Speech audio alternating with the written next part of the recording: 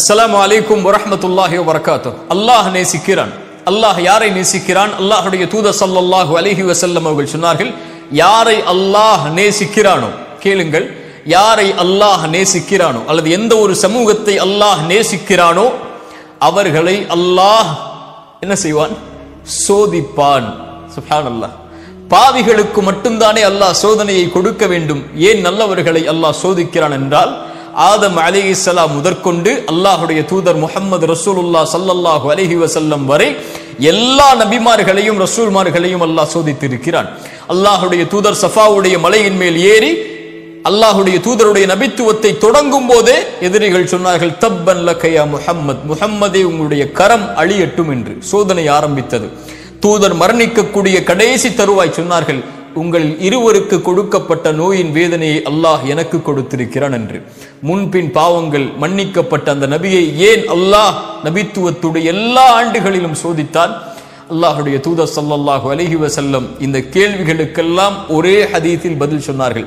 அல்லாஹுடைய தூத சல்லாஹு அலஹி வசல்லம் அவர்கள் சொன்னார்கள் இந்த பூமியிலேயே அதிகமாக சோதிக்கப்பட்டவர்கள் பாவிகள் என்று சொல்லவில்லை. நபிமார்கள் தான் அவர்களுக்கு பிறகு அவர்களை பின்தொடர்ந்தவர்கள் அவர்களுக்கு பிறகு அவர்களை பின்தொடர்ந்தவர்கள். ஏன் அல்லாஹ் சோதிக்கிறான் ஒரு இறை நம்பிக்கை கொண்டவனுடைய மார்க்கம் தீன் எந்த அளவு இருக்கிறதோ அந்த அளவு அல்லாஹ் சோதனைகளை உறுதியாக்குவான். ஒரு இறை நம்பிக்கை கொண்டவனுடைய மார்க்கம் எவ்வளவு எளிதாக இருக்கிறதோ அவ்வளவு எளிதாக சோதனை வரும். என்ன அர்த்தம்?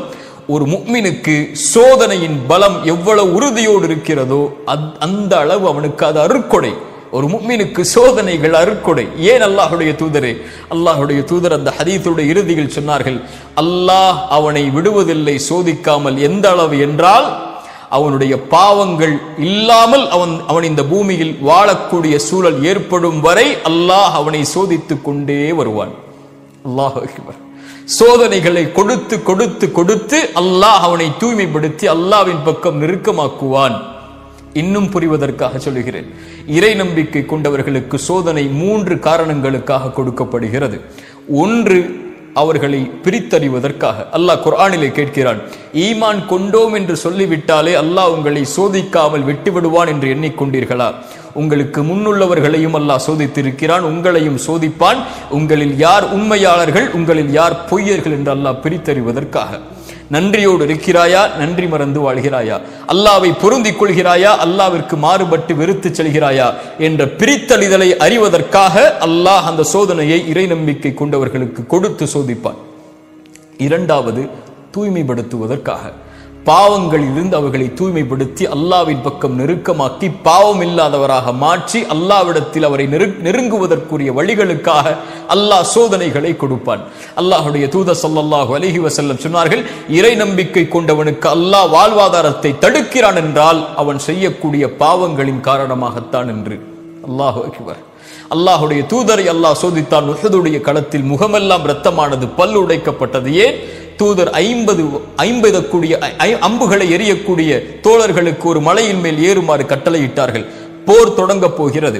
நீங்கள் நான் சொல்லும் வரை அல்லது இந்த போர் முடியும் வரை நான் கட்டளையிடும் வரை எங்களுடைய பிணங்களை கழுகுகள் கொத்துவதை பார்த்தாலும் சரி கீழே இறங்கி வரக்கூடாது.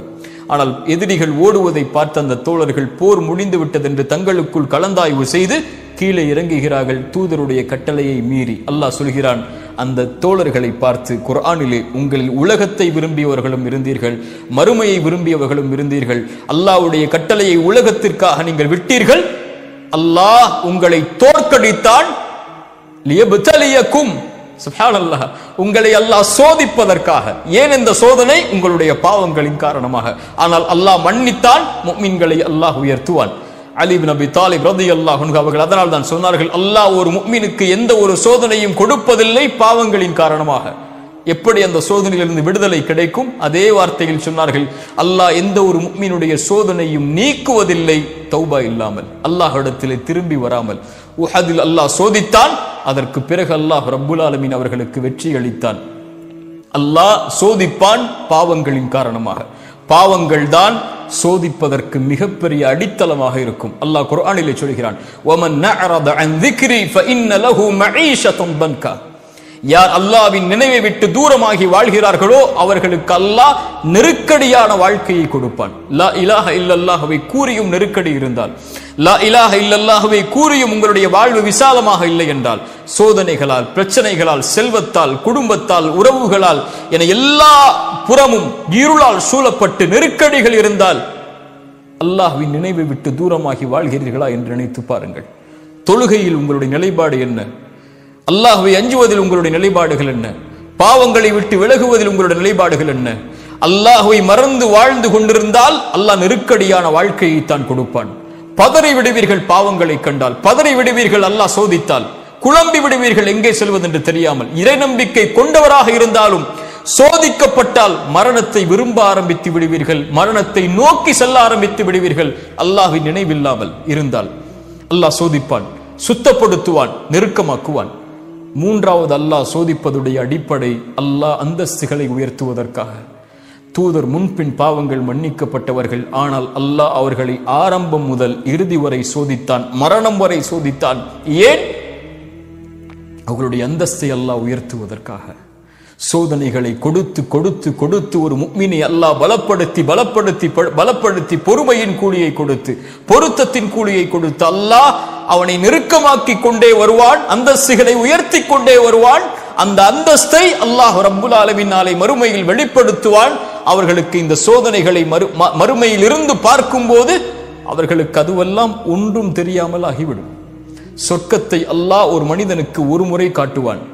அவன் வாழ்நாள் முழுக்க சோதிக்கப்பட்டவன். சொர்க்கத்தை ஒரு ந- முறை பார்த்தவன் அல்லாஹ் கேட்பான் உலகத்தில் ஏதாவது நீ சோதிக்கப்பட்டாயா? என்று அவன் சொல்லுவான் யா அல்லாஹ் உலகத்தில் நான் எந்த ஒரு சோதனையும் பார்க்கவில்லை என்று. அதை விட பெரிய அந்தஸ்து என்ன இருக்கப் போகிறது? அல்லாஹ் ரப்புல் இந்த மூன்றின் காரணமாகத்தான் இறை நம்பிக்கை கொண்டவர்களை சோதிப்பான். ஏன் இறை நம்பிக்கை கொண்டவர்களை அல்லாஹ் விரும்புகிறான்? விரும்பினால் சோதித்த அல்லாஹ் அவர்களை நெருக்கமாக்கி கொண்டே வருவார். அல்லாஹுடைய தூத சொல்லல்லாஹு அலஹி வசல்லம் ஒரு ஹதீஸில் சொன்னார்கள் அல்லாஹ் இறை நம்பிக்கை கொண்டவனுடைய எந்த ஒரு நன்மையையும் அல்லாஹ் வீணாக்குவதில்லை. அல்லாஹ் குறைப்பதில்லை. அவனுக்கு இந்த உலகிலும் நலவை அல்லாஹ் கொடுத்து விடுவான் மறுமையிலும் அல்லாஹ் கூலியை கொடுத்து விடுவான். அல்லாஹு அக்பர். உலகத்திலும் அவனுக்கு நலவு கண்டிப்பாக நிச்சயமாக அல்லாஹ் கொடுப்பான். அந்த நன்மைக்கு பகரமாக தீமையை மட்டும் அல்லாஹ் கொடுப்பதில்லை. அதுபோல் அல்லாஹ் மறுமையில் கூலியையும் கொடுத்து விடுவான். ஆனால் இறை மறுப்பாளராக வாழக்கூடிய காஃபிருக்கு அல்லாஹ் உணவளிக்கிறான் தண்ணீர் கொடுக்கிறான். அவர்கள் மாறு செய்தாலும் என்றால் அவர்களும் இந்த உலகத்திலே நலவு செய்கிறார்கள். அதனுடைய கூலி அல்லாஹ் கொடுத்து முடித்து விடுவான். மறுமையில் அவர்களுக்கு கொடுப்பதற்கு கூலி இருக்காது. ஆனால் ஒரு முக்மீனுக்கு மறுமையில் கூலி கொடுப்பதற்கு ஒரு வார்த்தை போதும். ல இலாஹ இல்லல்லாஹ். அல்லாஹ் ரப்புல் ஆலமீன் அதனால் தான் சொன்னால் உலகமளவு பாவங்களை சுமந்து நீ மறுமையில் வந்தாலும் லா இலாஹ இல்லல்லாஹ் என்ற வார்த்தை மட்டும் தூய்மையோடு இருந்தால் நீ சுமந்து வந்த உலகமளவு பாவங்களுக்கு நன்மையை தருகிறேன். நான் எதையும் பொருட்படுத்த மாட்டேன். ஒரு மீனுடைய கண்ணியம் அல்லாஹிடத்தில் அவ்வளவு மேலானது. லா இலாஹ இல்லல்லாஹின் வார்த்தையின் கண்ணியம் அல்லாஹிடத்தில் அவ்வளவு உயர்ந்தது. அதனால் தான் அல்லாஹுடைய தூத ஸல்லல்லாஹு அலைஹி வசல்லம் அவர்கள் சொன்னார்கள் யாரை அல்லாஹ் நேசிக்கிறானோ அவர்களை அல்லாஹ் சோதிப்பான் அல்லாஹ் சோதிப்பான். பொருந்திக் கொள்பவர்களை அல்லாஹ் பொருந்திக் கொள்வான் அல்லாஹ் ரப்புலாலமீன் எம் சோதனைகளில் எம்மை உறுதிப்படுத்தட்டும். அல்லாஹ் எம்மை சோ எம்மை சோதிப்பதன் மூலமாக எம்மை அவனிடத்தில் நெருக்கமாக்கி அல்லாஹ் எம்மை நேசிக்கட்டும். அஸ்லாம் அலைக்கும் வரமத்துல்லாஹி வபர்காத்து